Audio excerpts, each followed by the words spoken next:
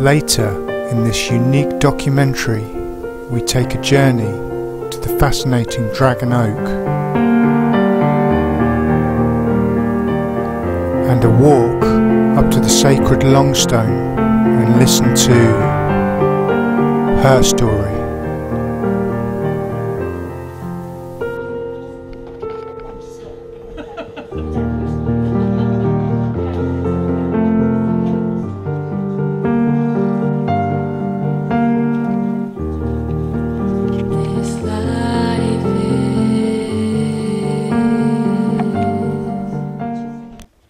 So, first of all, I'll introduce myself for people who don't know me.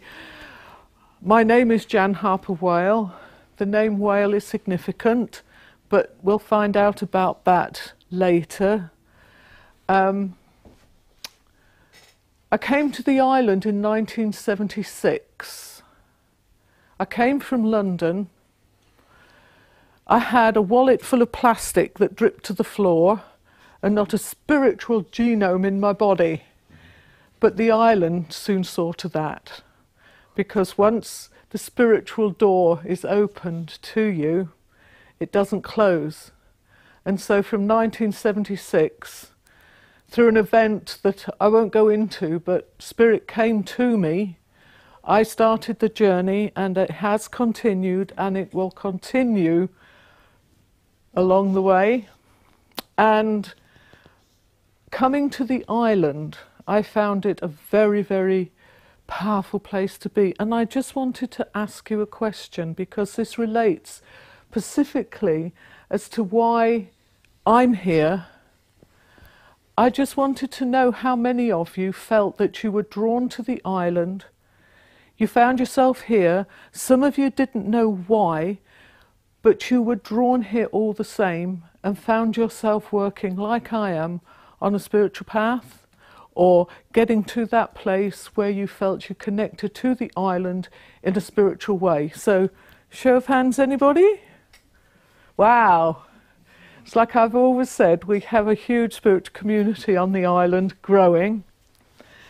And so um, I wanted to start to give you as much information of the research that I have done over the last four years to bring me to the point where I could write this book. And it's archaeological evidence, it's linguistic evidence, and it's DNA, mitochondrial DNA evidence. It's taken an awful lot of searching, clues put together, then more clues to find a story that hasn't been told. It's about a suppressed history and it's about a rediscovering an entire race of people on the Isle of Wight, and this is her story. So, from a brief summary, it's, it's about how Christian missionaries came to Britain uh, to come and convert pagan people. And to get to that point of real understanding just how inclusive it was in that, I'll give you some facts. Um, I'll also give you, to start off with, um, a spiritual story because this book is very spiritually based and it comes from an event that happened back in 1990 something. It's sort of like nine or five or six. And I was making my first journey up to the Longstone. Now, we all know how the Longstone invites you or repels you. It took me three journeys to find it, so I was getting pretty miffed, thinking I wasn't going to find it. You take the wrong left and you find yourself at the Barrow. You take that and you find yourself somewhere else.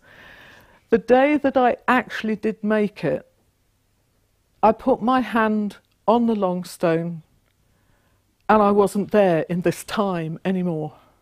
I was somewhere else. And whoever I was, I was facing the last moments of my life because before me was a man with a mask, a, a, a metal mask full of engraving. Um, it was a helmet. And I will never forget his eyes because his eyes were black and they were full of killing. He He was from the killing fields and he was about to end the life of this spirit that I had come to see. And it was horrific. I gave it up. I walked away from it and thought, well, that's why people don't like the Longstone. If that's what it's holding, you can keep it, thank you very much. But several years later, and this shows you how they actually work on you so wonderfully well, I was up there again and I touched the Longstone, and there I saw this huge warriors, this whole army coming over Chessell Down. And this was the battle that has been suppressed. And then she showed me where she's buried. And she was buried in a place that years later, when I was up with Morris, up at the Longstone Cottage, which is where that photograph comes from because I took it on an early winter morning and I saw that figure in a photograph. He took me to her burial mound. Now, the thing is, and this is the wonderment, is that when she showed me where she was buried, it was at winter and all the leaves were on the ground. So as we started walking up Brighstone Forest, I suddenly recognised this is what I've seen. And when we came to her burial mound there, a disc burial mound in the middle of Brighstone Forest, I knew I was actually being shown something real. And so a good friend, I mean this put me this put me right off because I thought Bronze Age, I'm looking at something like did Venetians come over here and do this? Where's it coming from? And I put it aside. And then one day a friend said, Well, do you know, there has been known that Anglo Saxon royalty or, or, important people were actually buried in Bronze Age burial mounds. And that kind of clicked something for me because I started looking at the Anglo Saxon period. And when I came upon the Sutton Hoo Mask, which is in this book here, and I, I've got it covered up because it, I just can't look at it, there it was. That was the mask that I saw. And so I was looking at something that happened a lot later than I was researching. And so I started to look into this massacre of 686 AD when Caedwalla came over with Wil- St. Wilfrid and he massacred all the people here.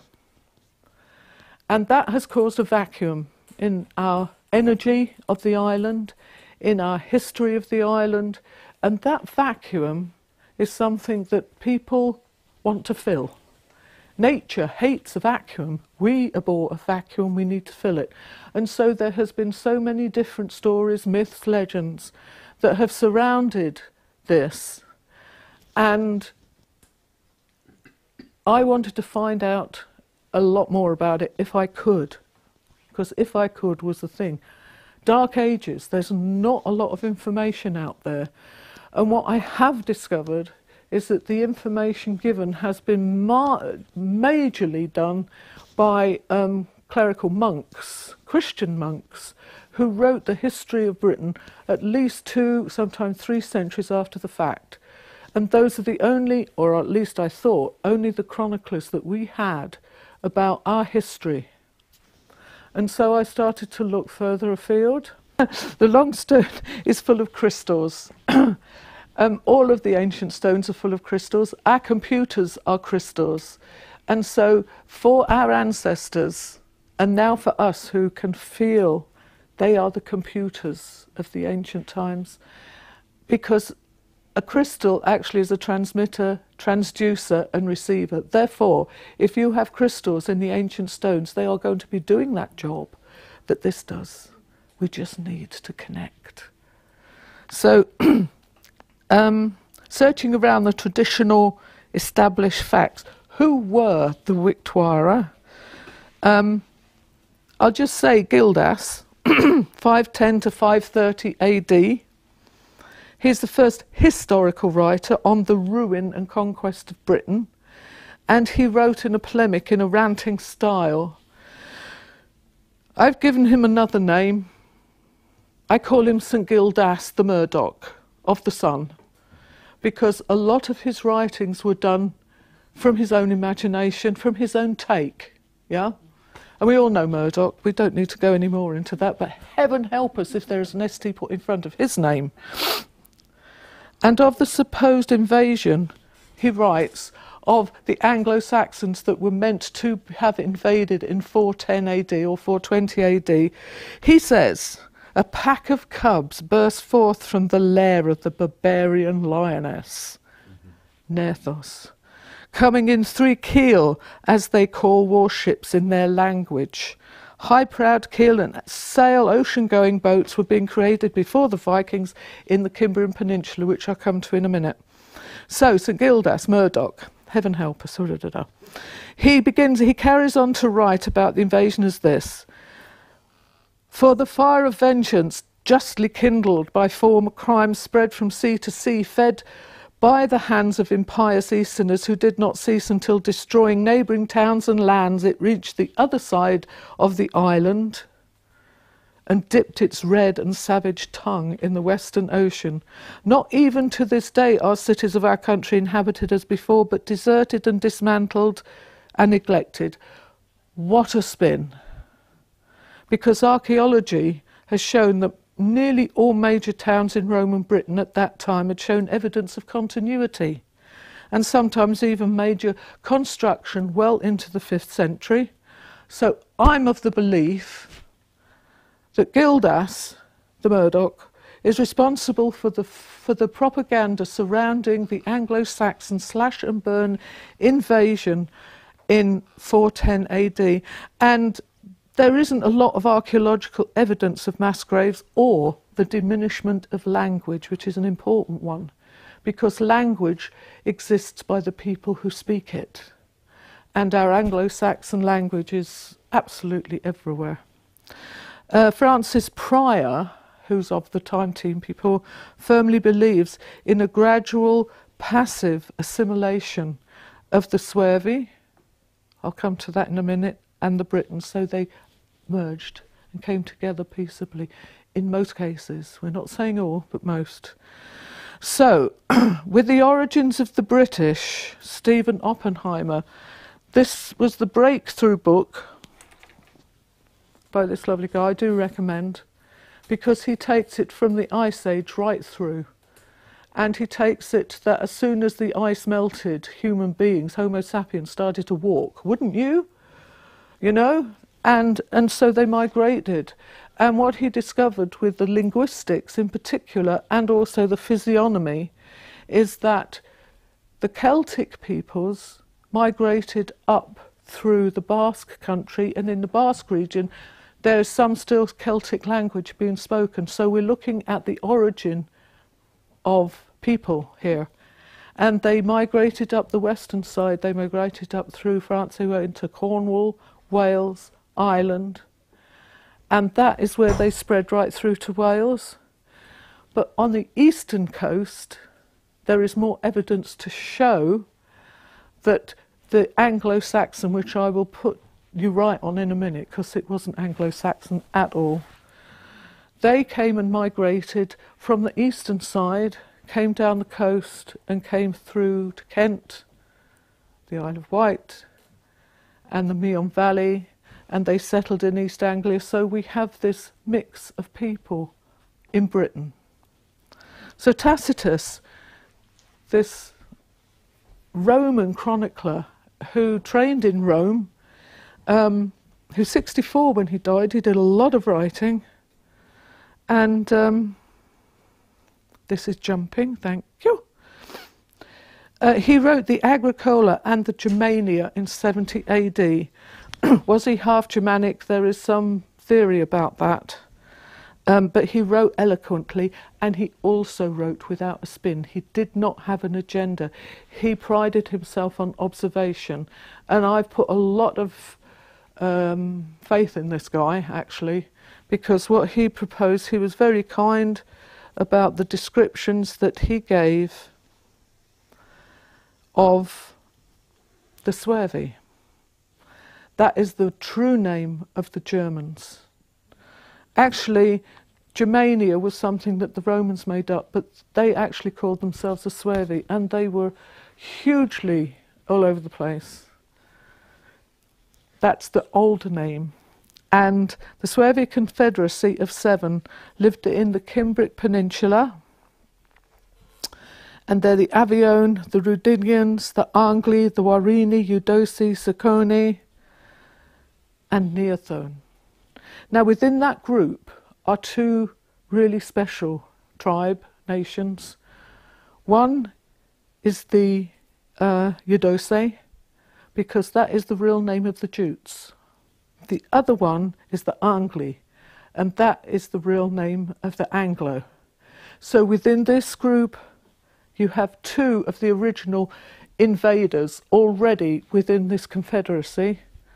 Um, and Tacitus goes on to say, I concur in opinion with those who deem the Germans never to have intermarried with other nations, but to be a race pure, unmixed, and stamped with a distinct character, Hence, the likeness pervades the whole through the numbers. They were pastoralists, hunter gatherers.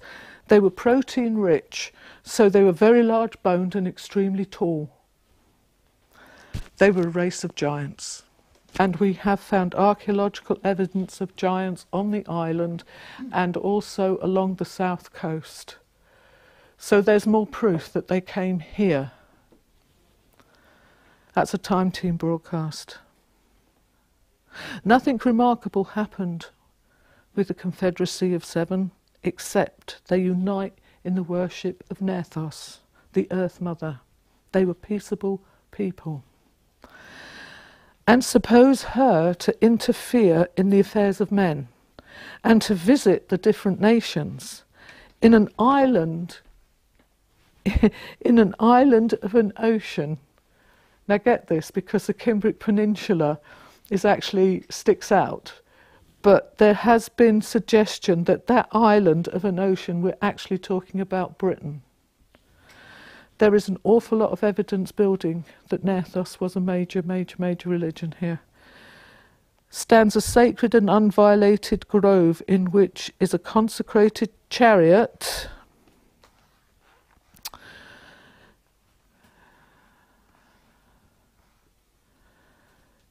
consecrated chariot covered with a veil which the priest alone is permitted to touch. He becomes conscious of the entrance of the goddess in this secret recess. With a profound veneration attends the vehicle, which is drawn by oxen. And at this season all is joy. In every place which the goddess deigns to visit, there is a scene of festivity. No wars are undertaken, arms are untouched and every hostile weapon is shut up. Peace abroad and at home are then only known, and then only love till at length the same priest reconducts the goddess to her temple. The chariot with its curtain, if we may believe it, the goddess herself undergoes ablutions in a sacred lake, secret lake. This part of the Suevian nation extends in the most parts of Germany. Um, now, what we've got here is a very, very tantalizing clue about Nethos in this country.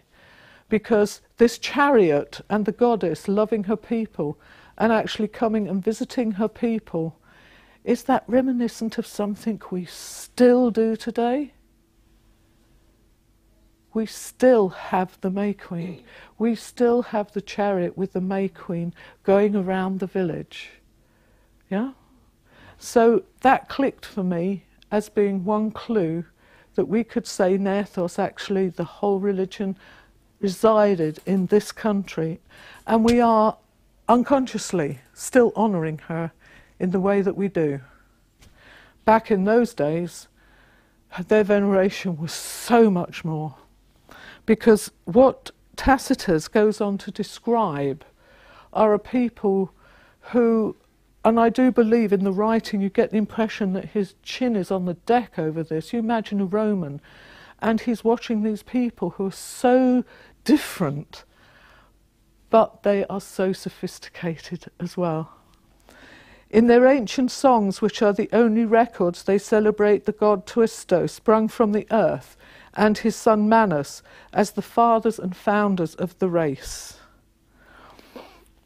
To Manus they ascribe three sons, whose names the people bordering on the ocean And here we go again, bordering on the ocean.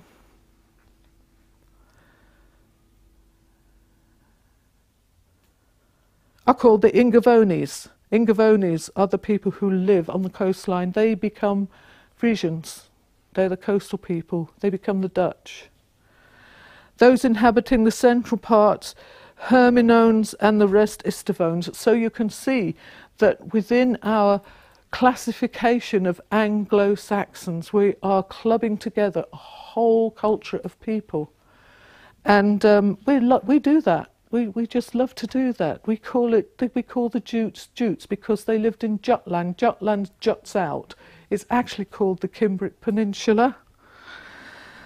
Assuming the license of antiquity actually affirm that they were more descendants of the god from whom appellations were derived, and those are of the Marsi, the Gambrivi, the Suevi, and the Vandali, and that these are genuine and religi- original names. And so he actually says that of Germany, on the other hand, they say, he says, and we're talking at 70 AD, is a modern addition. The men suppose sanctity and prescience inherent in the female sex. Now, if you know that Rome and their attitude to women is, is, is really basic, and you know, they, they saw women as just objects.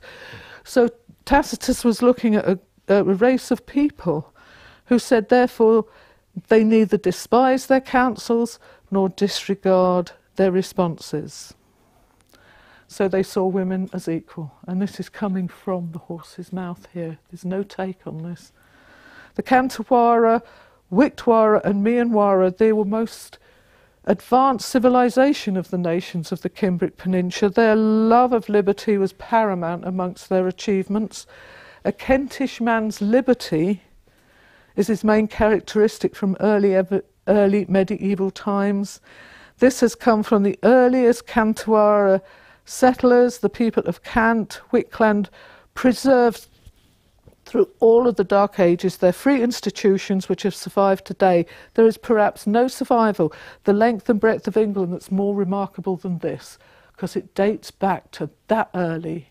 And these people from the Cimbric Peninsula bought it here because they brought their sophisticated culture with them. I'm a Kentish lass, and I'm damn proud of it now. Got to say that. And I'm a free spirit. Well, everyone would say that, wouldn't they? I'm a rebel. I'm a free spirit. Um, so, of the gods, the, the spirituality of these people, Mercury, the Romans called Woden Mercury, is the principal object of their adoration to Hercules, Thunor, and Mars, Tiwa, they offer the animals usually allotted for sacrifice. Some of the Suevi also perform sacred rites to Nerthos, Isis. They conceive it unworthy, and this is crucial. They conceive it unworthy, the grandeur of celestial beings, to confine their deities within walls and to represent them a human similitude. Woods and groves are their temples, and they affix names of that divinity to that secret power which they behold with the eye of adoration alone. So it it actually means if you can if you can imagine why the pagan peoples then didn't go into the Roman temples when they had the chance, why they preferred to live in their wood buildings it's because they chose to do that because they felt closer to their gods and goddesses, the spirits, the sprites, and they didn't want to change. Why not? Why not? We, we look at them because we, we have been uh, presented with these people as being ruthless barbarians.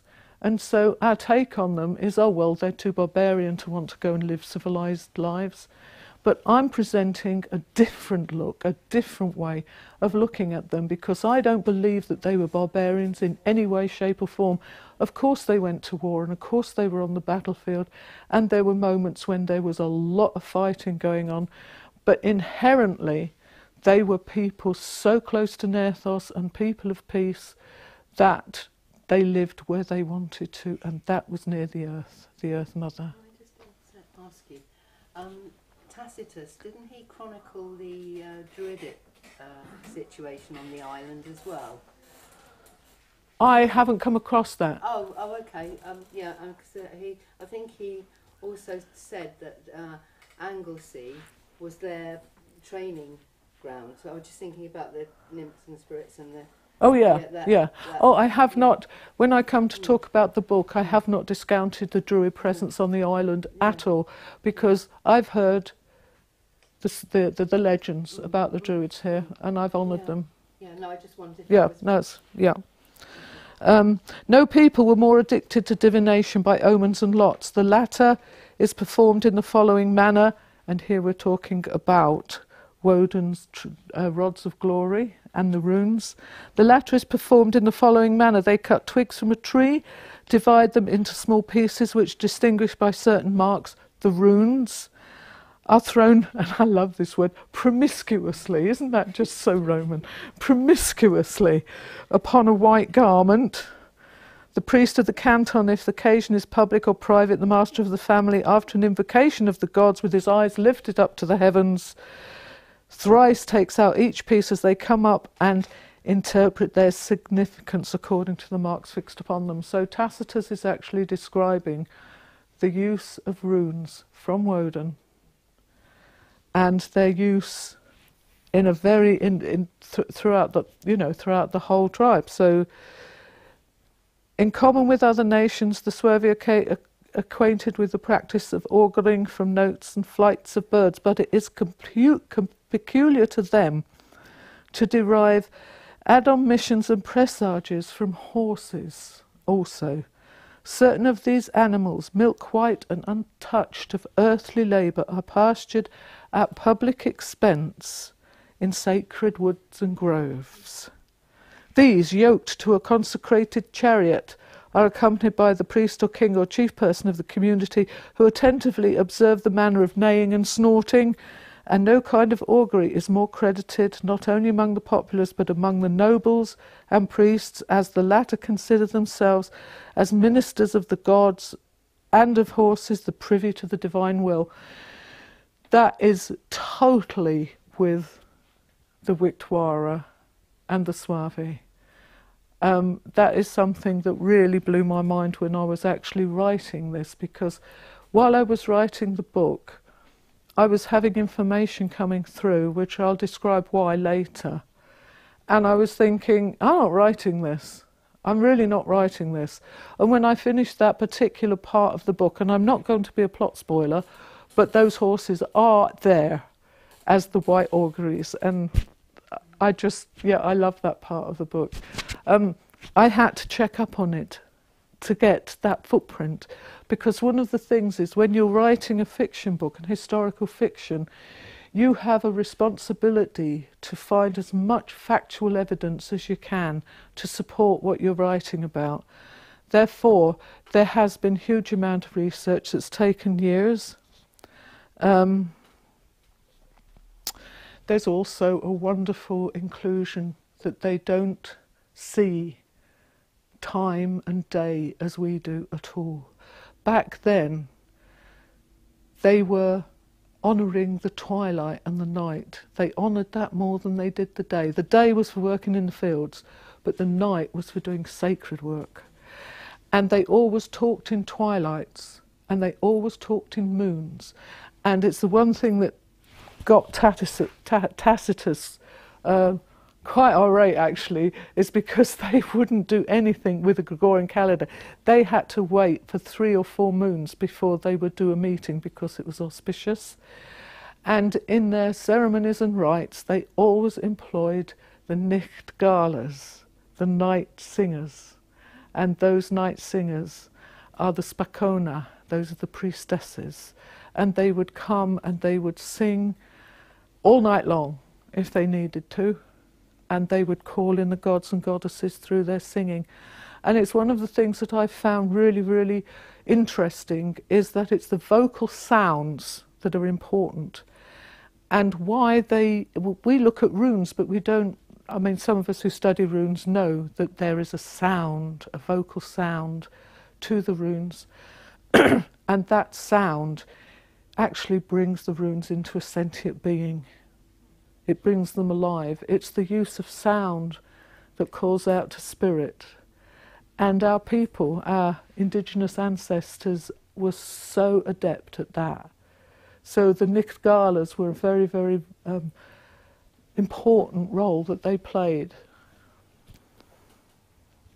So,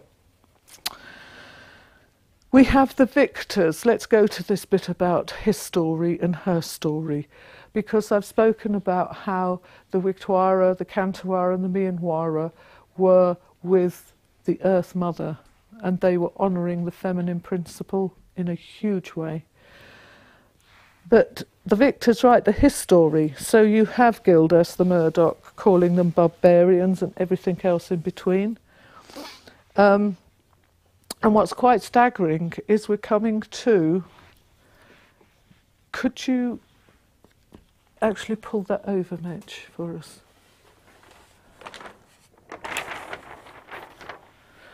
This is just shows you I'm actually going way beyond myself here. Um, that shows you where the Cimbric Peninsula is, and this is where they settled. This is uh, Kent, Canterbury Brig, or Cant- Canterbury Brig, uh, Wihtwara and Meonwara, and this is where they settled. Specifically, why? I asked myself. Yeah, why did they do that? Um, we'll get on to Bede in a minute because uh, we're coming to. Is that two? Oh, here's here's the old island. Yeah, I've got plates of this here you can have a look at. But just to give you a clue that, you know, these are all of the Saxa, the sorry, names of the island as they have been researched. And you can see we've got this is the old island. You see we've got two distinct islands. You were talking about the Druid, yeah? And these are the legends that the Druid occupied these two islands. I think I was thinking of that. Yeah, sure. Yeah, yeah. And this is freshwater Earland, and that is uh, Everland, Everland. And Oram is the old name for Bembridge, and uh, we have Stu Senclis was the old name for Shanklin, Kieferdoon, uh, Chessell, Lafferdoon is Garston Down. So all of these, all of these are the original names, and it's in the book. But these two islands, yes. Did you know, and I'm jumping here, but it's quite interesting. Um, after the massacre, there were escapes, but I'm going to get that to that later about how in- ineffectual genocide is. But it is known that King Alfred, who was very fond of the island, whose mother was an islander, so we have that mitochondrial DNA carrying on despite everything. He brought that island under royal charter. Why? I'm asking that question why? Because um, he did, and it's totally distinct.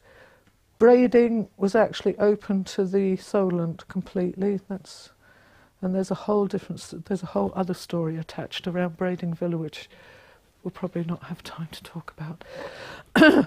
but um, I wanted to give you this because the other question is why did they come here? What brought them here? Where they could have gone all over the place. I mean, I do know that their land wasn't very fertile. I mean, they lived in forest and lakes. They were pastoralists completely. But you had areas of famine. You had um, there were floods. We know that they were being threatened from the east, and so their lives must have been a case of thwarted paradise. I would call it actually, to be honest. And they'd heard about the agriculture. They'd heard about the wheat growing, which they didn't have an awful lot there.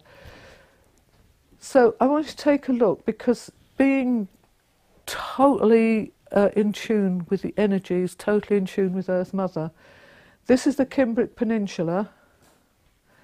This is the Michael and Mary line going down here. And that takes you to Lake Tikikaka, and that's St Michael's Island there. So all of these things are very, very important. And you have uh, the Belinus line coming through here. Did they feel those energies? What brought them? They must have felt those energies. I think they did. I think that if they were people who had moved across continents when the ice melted, they would have felt those energies. And so I think that it brought them over here and said, yeah, this is where we've got to go. And that's where they came. And of course, Kent is the closest. Uh, my feeling is that quite a few of them hugged the coast and then came over this way, the shortest way.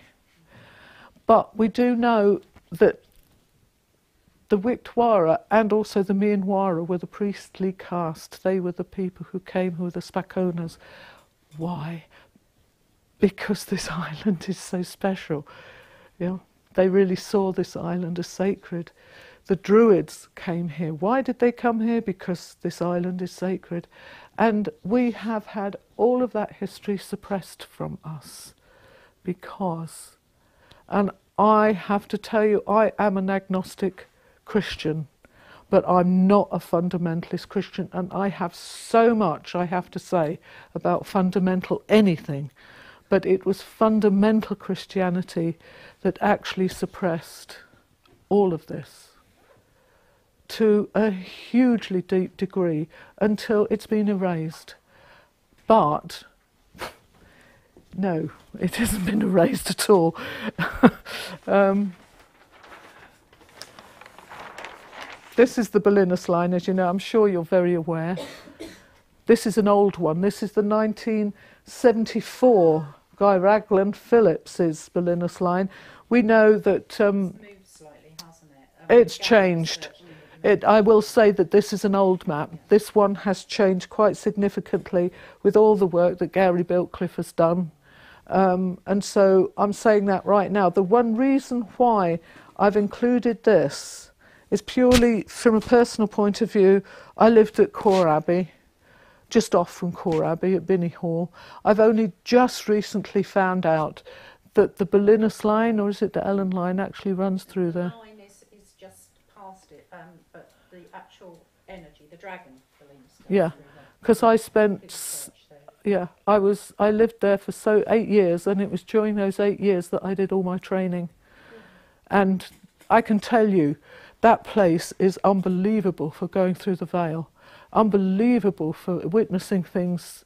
More there than I than I did in Native America. Actually, in Pipestone, I had more happening here, which just shows you. And Chuck Derby, the leader of the Sisseton Dakota Sioux, came over to the island several times because he thought the place was pretty cool. anyway, um, this this triangle here is just a personal thing because when I went to Avebury, I touched the stones and I had another a vision given me there of smelting iron. I smelt smelting iron and I saw who was there. That was an experience, and also at Glastonbury. So I've got a feeling that there is a trinity ac- accorded here with the island, with Avebury and Glastonbury, and I've called it the Earth Trinity.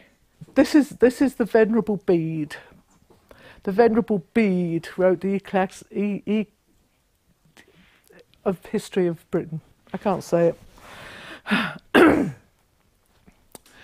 and he wrote centuries after the fact.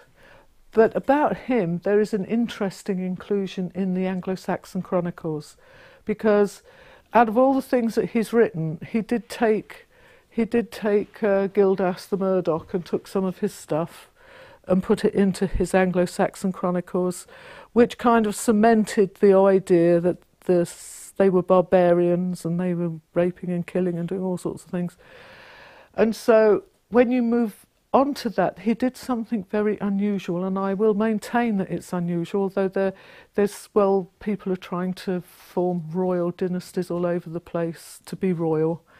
But Bede actually made a statement about it, and Stephen Oppenheimer picked up on it.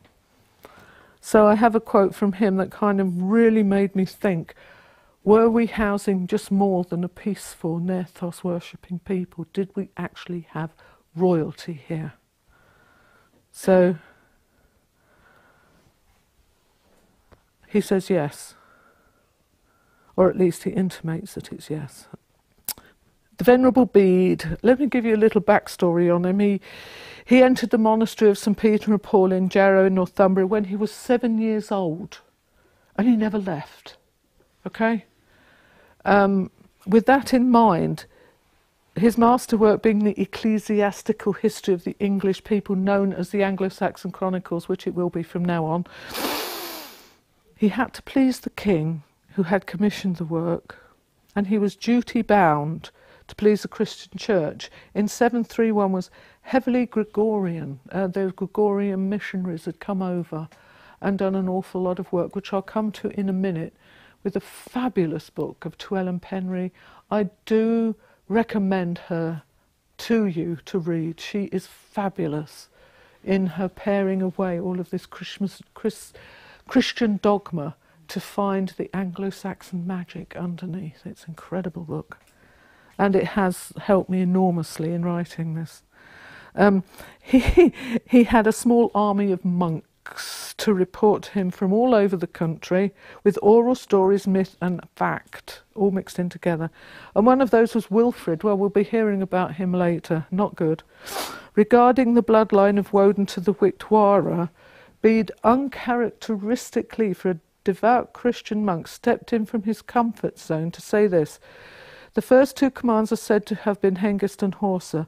They were the sons of Victgillus, Whitgill, whose father was Witter, or they say Vita in Roman, and that's important, whose father was Vector.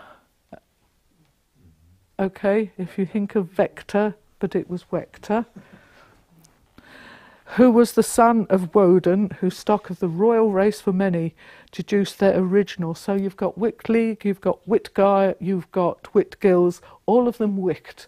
Wickland, join the dots. Well, I did, and I really, really believe that we have a royal bloodline to Woden on the island.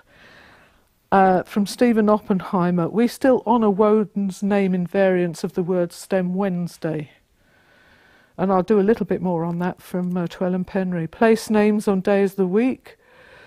Uh, and so we read in Book One of the Anglo Saxon from this Woden road arose all the royal kindred. This text from the oldest surviving English history was no routine description of an accident of descent, but a deliberate statement. The gap between each of the main founders and Woden is but a few generations.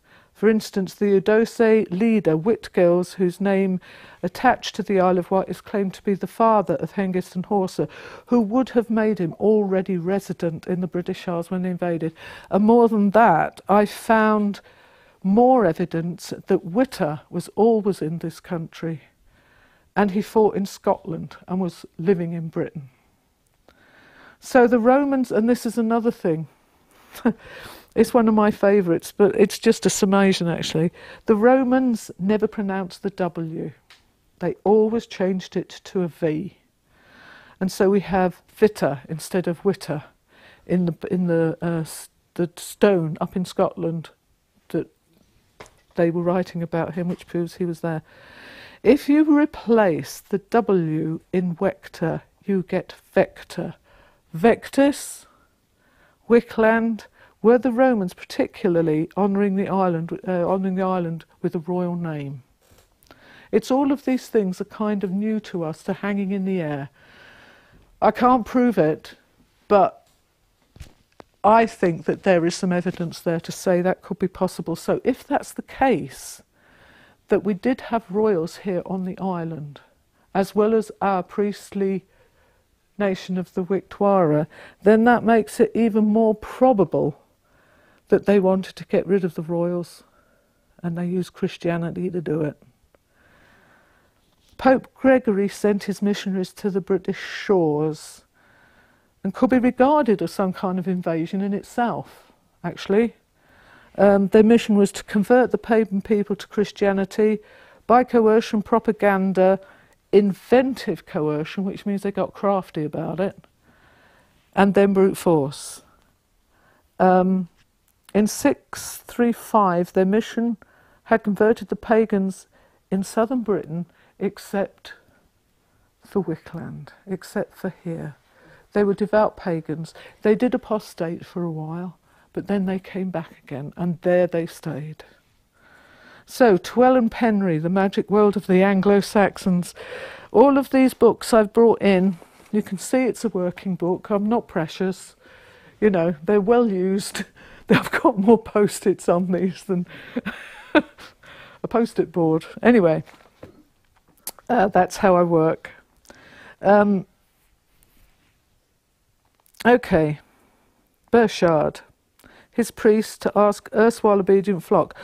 Almost all surviving evidence written from a Christian point of view, designed to show heathen people as ignorant, superstitious, and pathetically grateful for being converted to a new religion. I don't think so. Because there's another spin. Burchard asks his priest to ask his erstwhile obedient flock, Have you mixed any lethal poison and killed anyone lately? Have you burned down a church and approved of it? And this actually is written in, that's what they had to ask the congregation. So they invented what was called the penitentials. Now, the penitentials was the instrument, psychological, that they used to suppress absolutely, layer by layer by layer, all of the pagan beliefs. And it was called the corrector. Widespread prohibition of burning graves where a man has died, prohibition of using bread as charms or magic, while bread was absolutely sacred to Woden. So Christians had to resort to stamping the cross on buns. Yeah.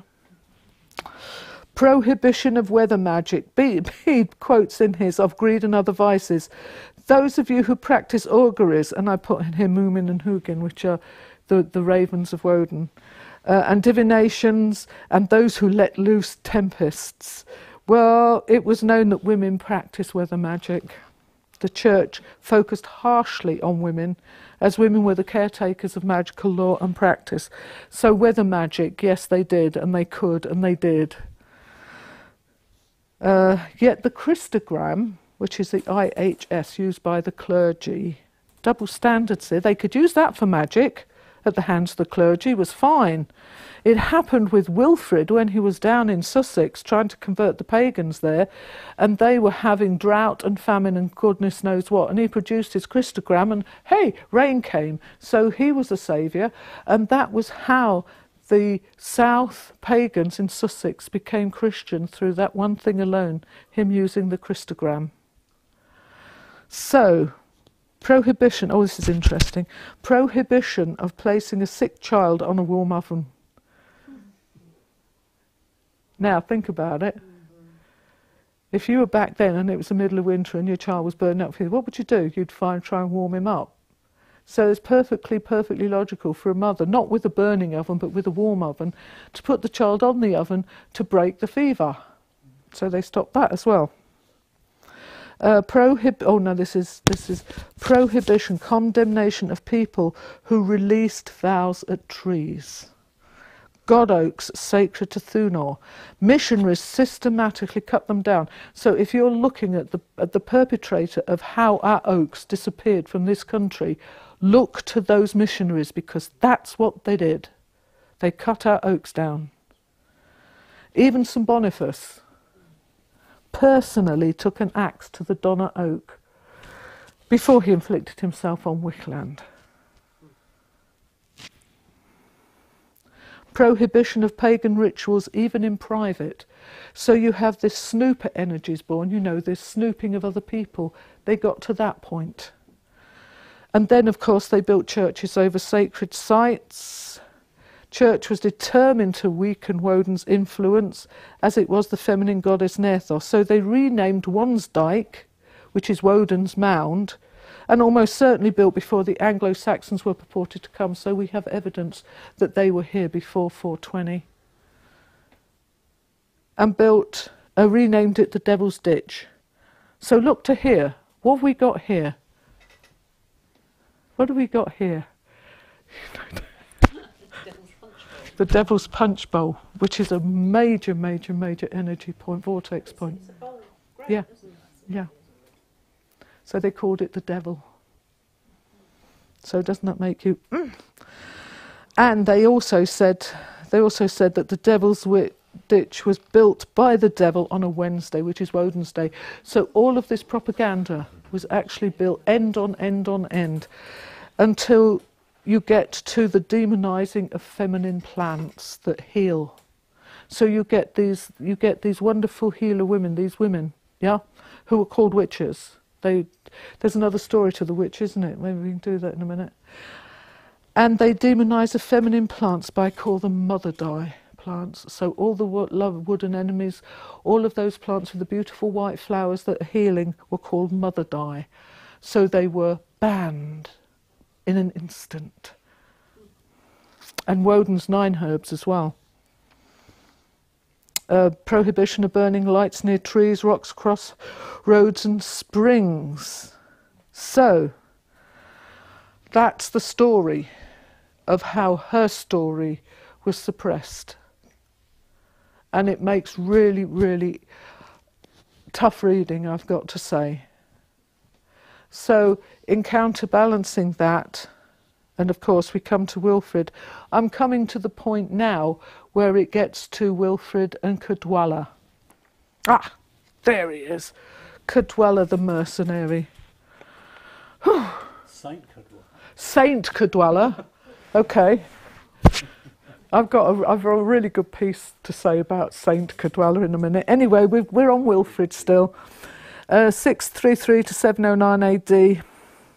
He was born a Northumbrian noble and studied at Lindisfarne. He was ostentatious, hungry for power and wealth, travelled with a huge retinue of men and made enemies of kings who expelled him. That's our St Wilfrid. He was exiled from northern England and went south to harry the pagans in Sussex. The first thing he did was kill a pagan priest. The second thing he did, because there was famine and plague, used Chris- Christogram and everything turned around for him. And that is a huge, massive double standard by anybody's standard. So we come to Caedwalla because I'm condensing it here because this whole story of Wilfred and Caedwalla and Wulfhere comes in the third book. It's not going to be an easy write. I haven't got there yet. So I'm condensing it now. So you have to come back in a year's time when I finish the third one. Anyway, Caedwalla, he was said to be a descendant of, of King Ceawlin of Wessex, but that's debatable. He was sent to Oxford. He became a mercenary. He was violent and cruel. When Caedwalla and Wilfrid met, there must have been a mutual joining of sick souls, as I've called it. Together they compounded the more intense conversion. They both, oh, I didn't get. They both hungered for power and wealth. Caedwalla wanted, through sheer conquest, to become the Bretwalda, that is, King of Kings. That was his motive. Wilfrid's was quite another. Invading Wickland was a joint plan.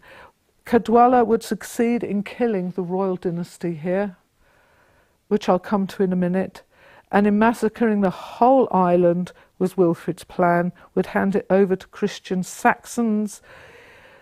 Caedwalla handed over a full quarter of the island to St Wilfrid, just like that. So, this is what he was wounded during the massacre. Yes, went to Rome to compound his glory with a sainthood and died there. It's wonderful. I got this. Uh, great. Caedwalla was a Saxon king who kept expanding his influence by killing off other kings and forcibly taking their kingdoms. The historian Bede tells of Caedwalla, and Bede here is really good, going through the countryside by merciless slaughter. But then he went on a pilgrimage and presumably started to feel bad for all the slaughter. Then he got baptized, after which he died, which technically makes him the patron saint of remorseful serial killers.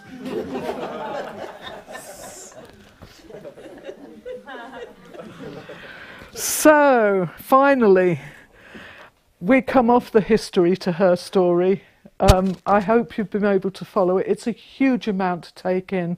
For me, it was awesome to be able to put this together so that I could put my foot on the ground and say, yes, this was how it was. We have an indigenous people here called the Wihtwara who spoke Anglo Saxon, and I'll be speaking a bit of it in a minute, um, and who were peaceful, wonderful people. And they're here still, walking with us, as we know, because genocide doesn't work, because I'm here to tell you it doesn't, because I am related to them. My name, Whale, used to be something that was made fun of when I was at school, catch up whale.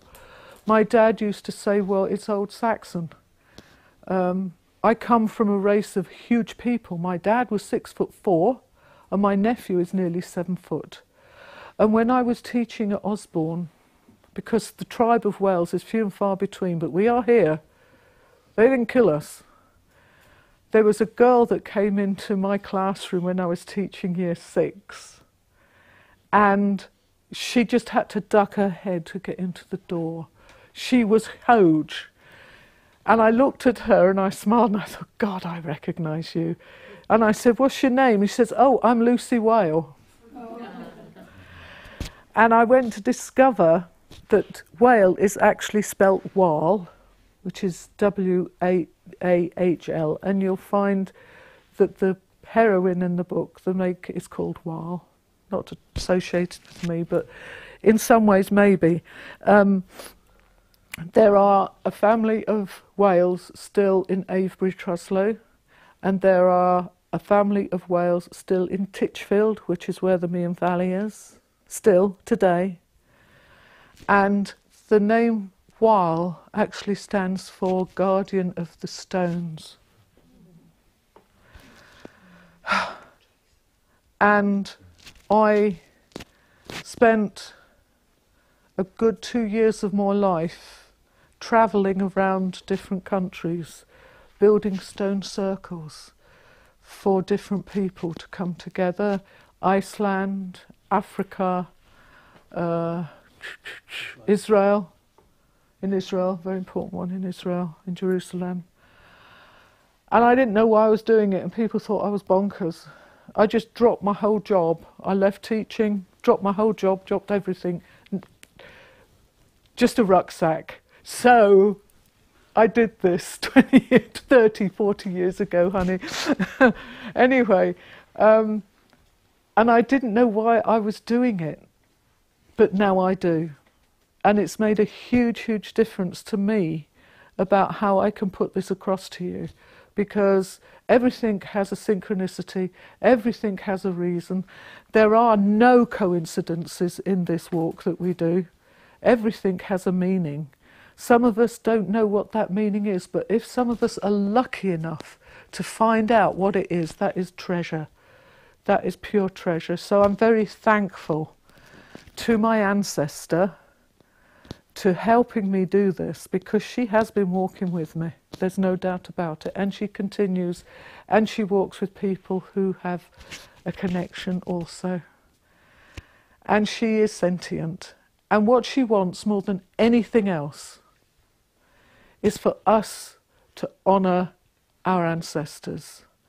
Because there is a phrase that came through, said, We only die when people forget us. And it's true. Now, for those Wihtwara and for the people who lived here, they were forced into this loss of memory from us. And it's my passion to actually get as many people as I can on this island who feel that pull to spirit to honour our ancestors because then they will be at peace. Thank you. Shall I read a bit from the book? Yeah.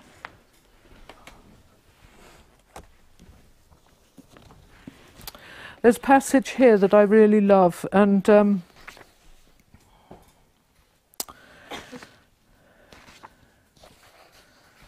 it's about the Nichgalas singing to the whole ceremony for the naming of Woden because he came through as a, as a child god, his demigod. The full moon sent shafts of luminous light onto the surface of a pool that was still like glass. The night world held its breath. The women sat in silence with only the rustle of threads being tied to the small looms each woman held on the ground. Threads of amber, crimson, and dark blue and green lay on the crisp frost lace grass in readiness for the weaving. The singers sat away from the women on the ridge above.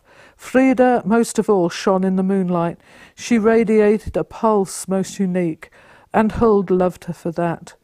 Leaves were silhouetted in a silver sheen, for the night goddess Mani was gracing them with all the fullness of a cloudless sky, with many stars and a moon to truly sing to, and so they began. Vesu hail foldamodor, fram filas et thu nethos, althan thesuna wexian theol, in nethos ondwednes, willan hebion fin fronlik, on wisdom el, in hold on inferos. Hail to thee, earth mother of mortal men, to thee, Nerthos, grant thy son grow strong in Nerthos' presence, willing he to be filled with your love and wisdom, strong in body and in mind. And then the Eldamore door. She wants to make those weird rapas for Woden to become really sacred. This is about powering them up. And in the old ways, it would be what they call a reduction magic. So they come from this to this. And so many women had been brushing, clearing, cleaning the lodge for two whole days. It was just two twilights in the dark moon. She was waning, sliver of light, as Horgis lit looked up to see the clouds scudding past in an impatience she could feel in her soul. Gisa, she thought, but we're running close to the wind here, my Nerthos. The journey to the top of the mountain would take at least two twilights. How would the child god fare on that journey? She knew not. And she had to arrive by the first appearing of Muna, their beloved moon goddess, and not a minute after. It depended much on the skill of Frida, who had made the journey with Huld. She herself had collected the jewel girdle and the talk of Nerthos, kept in a secret place only she knew. Soon, she thought, this must be shared, for I'll be joining my ancestors. She had cleaned them with a dew collected that morning, and now she placed the weird rapace weavings before her. Only now, in the moonshine, did they come alight. She rubbed the magical dew in, singing softly, Go dropa et cleansian thu, et a dropa et helan thu, sef on dropa et wiothan de followe, six dropa a lucan thu, fifth dropa e gifan thu reo, fifth dropa et athmian thu blios, drioth dropa et athmian thu friogon menes, e dropa e gifan thu frigan nine drops to cleanse you, eight drops to heal you, seven drops to throw demons away, six drops to charm you, five drops to give you voice, four drops to make you joyful, three drops to make you courageous, two drops to make you love humanity, and one drop to give you love. Thank you, everybody.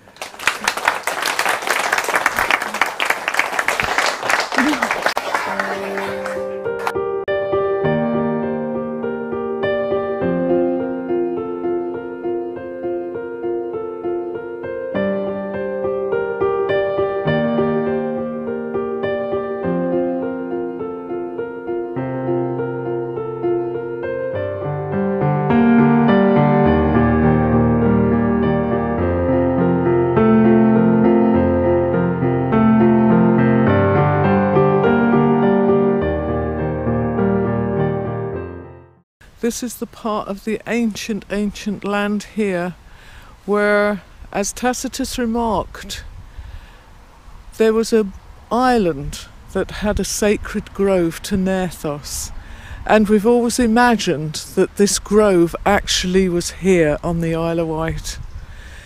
And I would like to think that this beautiful piece of water here. If you imagine that those houses are not there, if you can imagine that this would be occupied by the most ancient trees, because all of this part of the island back in the old ancient days was forest, this could have been the grove of Nerthos.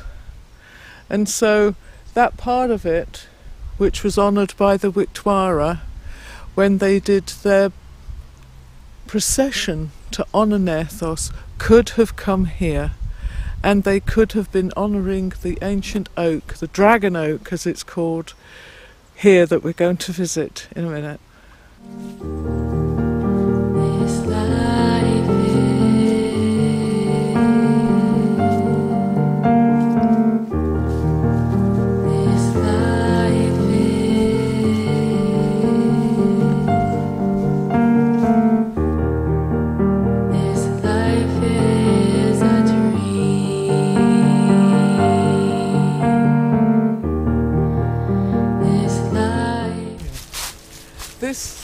Beautiful ancient oak has been called the dragon oak, and it is one of the most beautiful ancient trees we have on the island.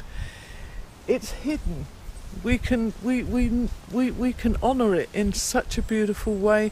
But one of the things that I love about this oak, apart from the fact that her heartbeat is so strong and she is so old, she's bent her branches down and you can put yourself to the branches and you can feel the whole oak tree move with you. You're actually with the oak tree as it moves. So you can get to her energy and to her heart so easily. And it's for our children and our children's children to come and really, really enjoy and be with this oak. That's why she has brought her branches down, her huge hunks down for the children. It's a children's oak tree. And I have come here to create essences before and now to honour the energy of her. I really believe that she may not be the original that our ancestors came to honour, as I have written in the Wihtwara, but this is a sibling of the original tree. I believe that this oak tree has been here for aeons and you can feel how old she is. And I've got an essence just over there.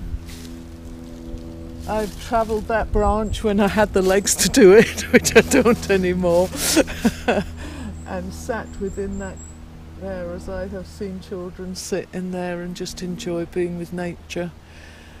Yeah, it's a wonderful, wonderful tree.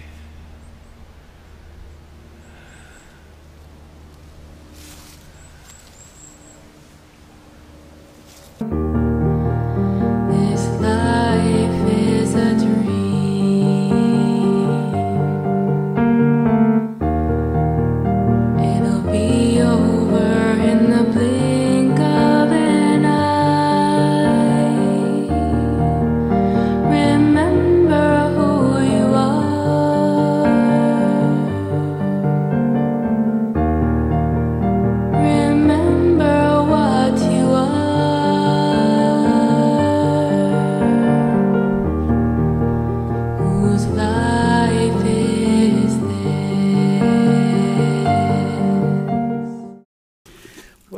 very, first time that I came here decades ago, and I was walking up the Fossway, I met this V here. And it's so often that Spirit give you a choice. to go left or to go right? And I've had this up at Glastonbury as well to find our sacred places. And because I'm left handed, I went left. and it took me way out of the way, yeah. So I had to come and trace myself back and take the right way. And that takes you up to the Longstone. And it's made me laugh because they've actually put a sign up there now saying this is to the Longstone.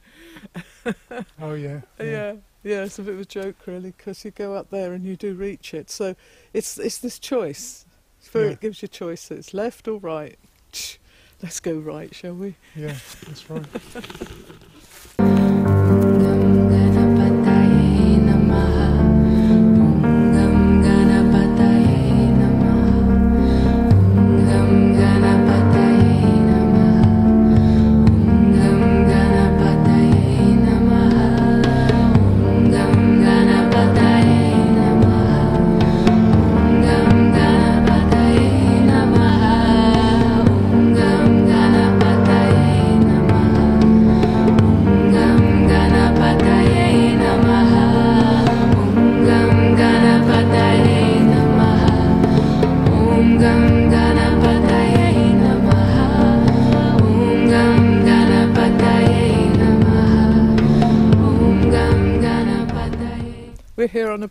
Beautiful, beautiful, December day, um, and I'm here at our ancient Longstone.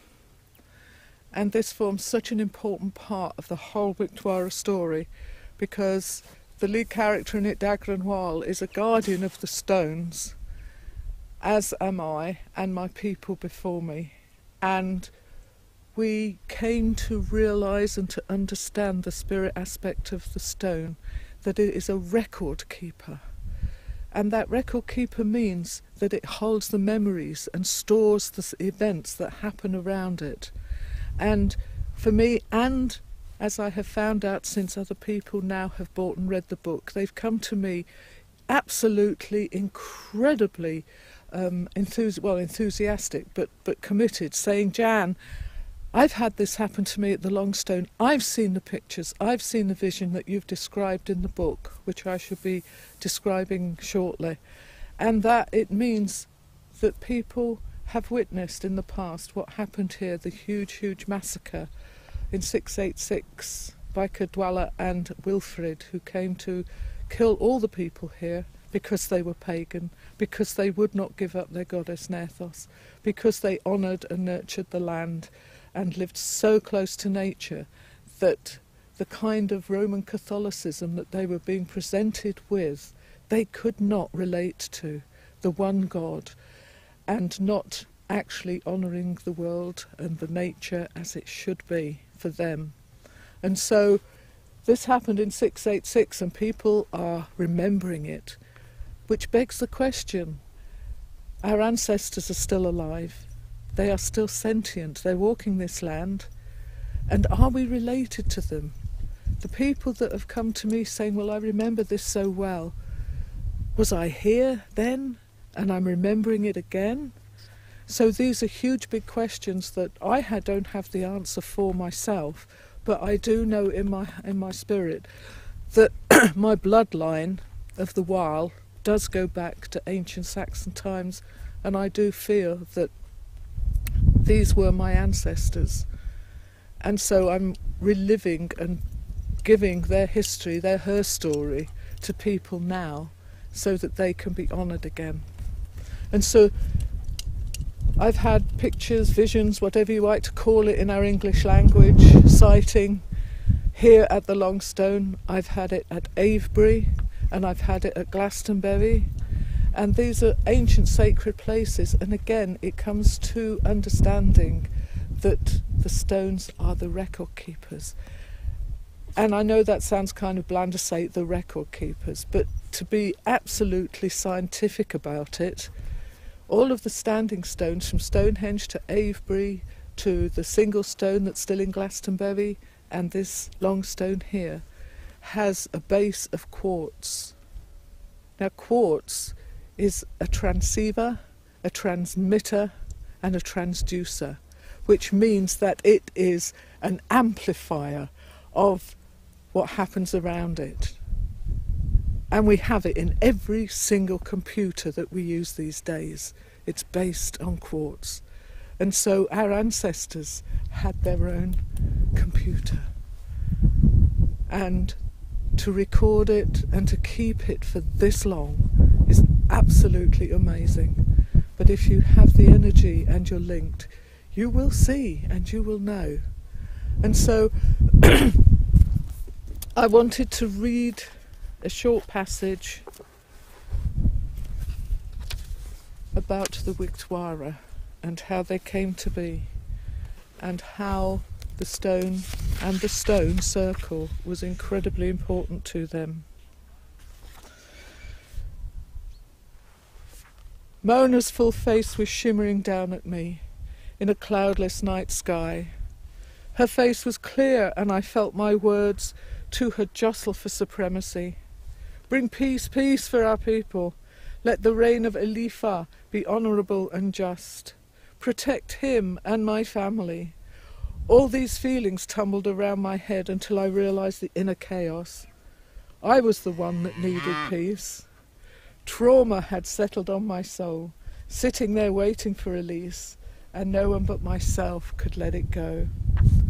I was alone in the willow copse, whose branches stretched over to hide and protect our ancestor circle. I pushed my palms into the warm earth, feeling the moist soil push up and surround my hands.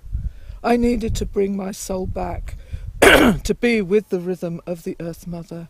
Her song I could not hear, yet until that came back to me and travelled with me, I could not be the Spokona this night.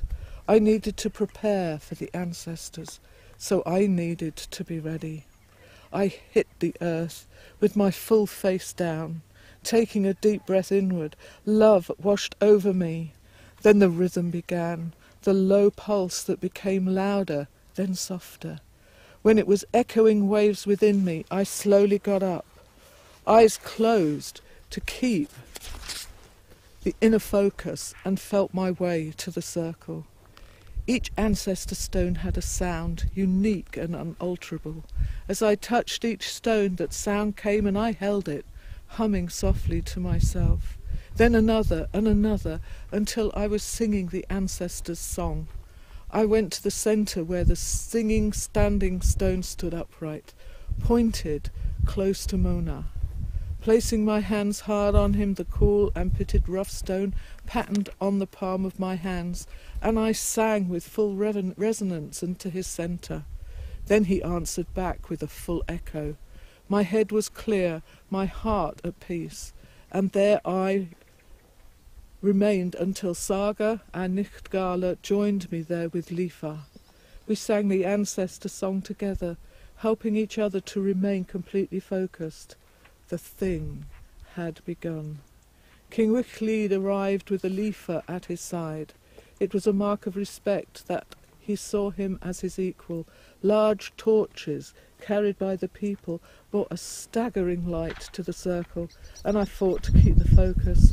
Everyone wore the Sueve knot, some braided with prayers to Nerthos, Woden, or Thunar, and all came in complete solemnity, for this was our ancestors' home. There were representatives from all the tribes. Wichlid walked to the singing stone and raised his hands to the night sky. We hushed our song to a whisper, never stopping. We walked away from the centre to allow king of Wickland to speak. Mona gense yn sŵni bregan thynet, et bletsi an thet folder edir. So now we stand on an area and frepthin bletsunga fram rain et ur bewetsen. Woden for elfeda, thu a fel forenga, fram thuok hiland, scope un kiman.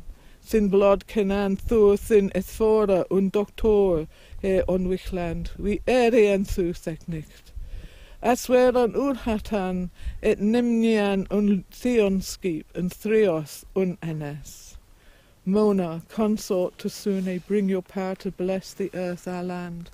Thunor, we stand in honour of your blessings of rain on our crops.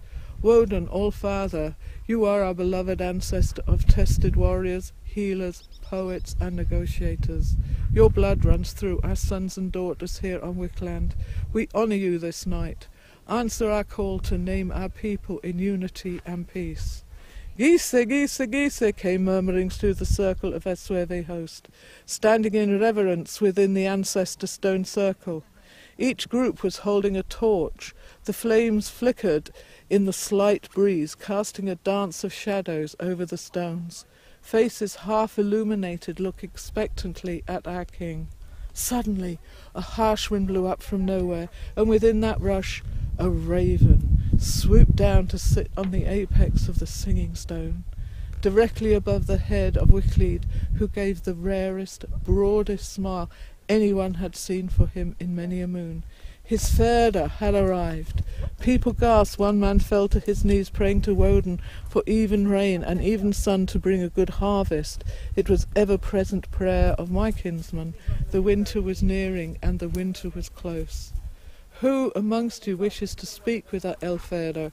Wicklid intoned loudly, his face sweeping the circle.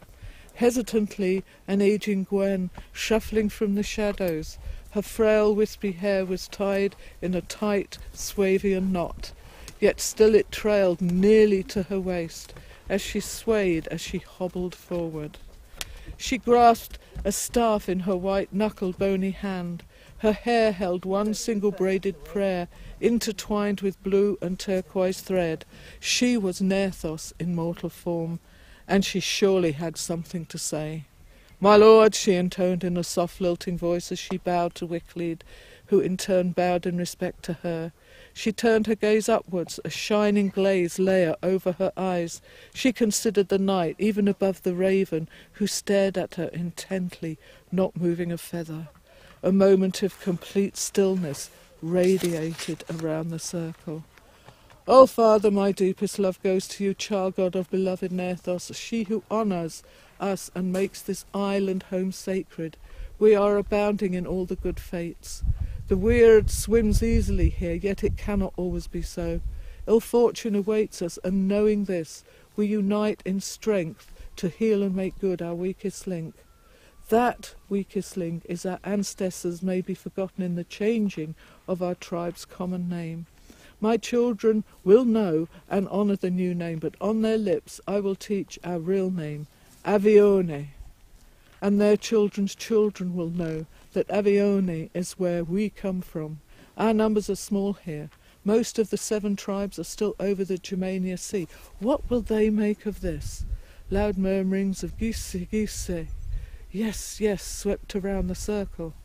Accepted, called Wayford loudly. Let this be passed also, that we all honour our old tribal names for the generations to come.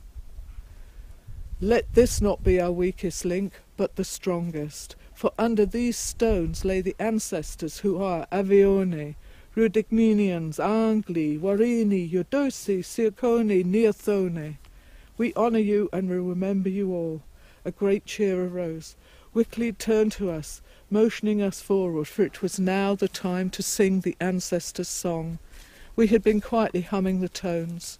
We were practiced now. We each intoned the sacred frequency note, long or interrupted, sweeping high, then low. Then we harmonized until the whole circle was thrumming in an earth vibration. This was the ancestors' song, given from the stones.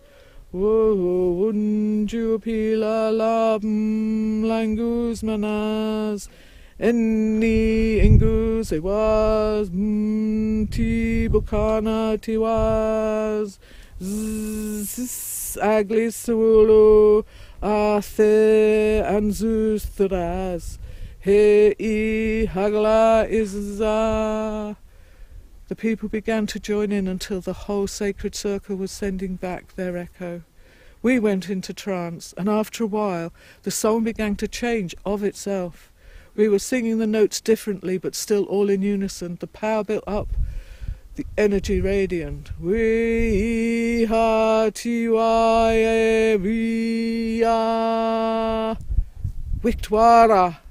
The raven called loudly flew low over into the circle, then swooped up and away. Wihtwara, the king shouted, our name is now Wihtwara, let it be so.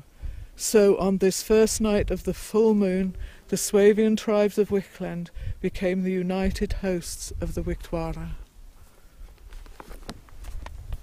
Gam